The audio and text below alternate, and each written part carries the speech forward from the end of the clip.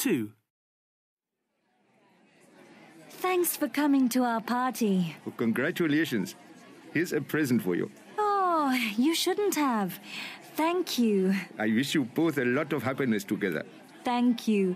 Vikram will be very pleased that you came. Where is he, anyway? Hmm, I'm not sure. Tell him to say hello to my sister when you see him. It's her birthday today. Okay, I'll tell my nephew. No, I just have to find him.